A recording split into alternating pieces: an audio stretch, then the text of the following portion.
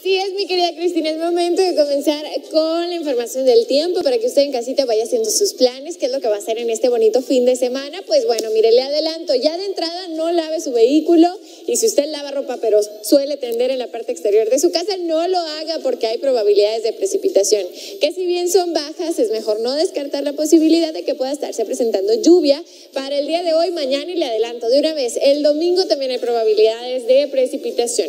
Entre el 10 y el 20% es el porcentaje de precipitación que se espera para el día de hoy. Y el día de mañana, como le comento, es una probabilidad, bueno, baja, pero con esta probabilidad tan baja o incluso más baja se ha presentado lluvia. Entonces, pues bueno, hay que tener ojo con esta posible lluvia que puede estarse presentando el día de hoy aquí en Ciudad Juárez. En cuanto a nuestro cielo, habrá presencia de nubosidad, lo cual puede favorecer levemente la sensación térmica, eso principalmente durante la tarde, pero bueno, continuamos manteniendo temperaturas cálidas, ya no ascendemos a los 40 grados, llegamos a los 38, si se siente un poquito menos cálido que en días anteriores que estuvimos incluso entre los 42, 43 grados, pero bueno, de igual manera no hay que confiarse porque sí continúan siendo temperaturas sumamente cálidas, de cálidas a calurosas. 25 y 26 grados Celsius será la temperatura mínima la que descenderemos para el día de hoy y mañana por la noche las primeras horas del día, en este caso del día sábado. Velocidades de viento se mantienen ligeras entre los 15 y 25, quizá 30 kilómetros por hora.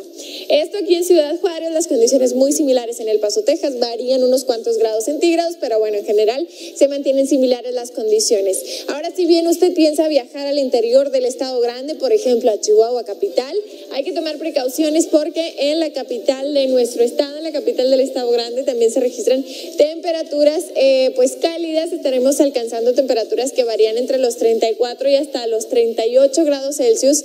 Esto en Chihuahua capital. Por la noche se esperan temperaturas eh, que van entre los 21 y 22 grados Celsius, em, que son las eh, temperaturas mínimas para la noche, y también nos marcan probabilidades de precipitación. Esta probabilidad es debido a un ingreso de una nueva onda tropical a nuestra República Mexicana, afectando principalmente a la zona norte, que nos está causando estos eh, leves probabilidades de precipitación. Así que ojo con esta posible lluvia que pueda estarse presentando para el día de hoy en gran parte de nuestro estado. Hay que tomar precauciones y principalmente ante estas altas temperaturas recuerden la importancia de mantenerse bien, bien hidratado. Preste mucha atención a pequeños y adultos mayores no olvidarse, por supuesto, de sus mascotas.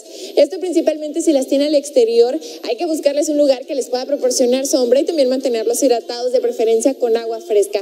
Aquí la invitación o el exhorto que yo les hago es a poner un recipiente con agua fuera de sus hogares para todas aquellas mascotas que están perdidas o que bien no tienen hogar. Así que ya lo sabe, utilizar bloqueador solar, no se exponga por periodos muy largos de tiempo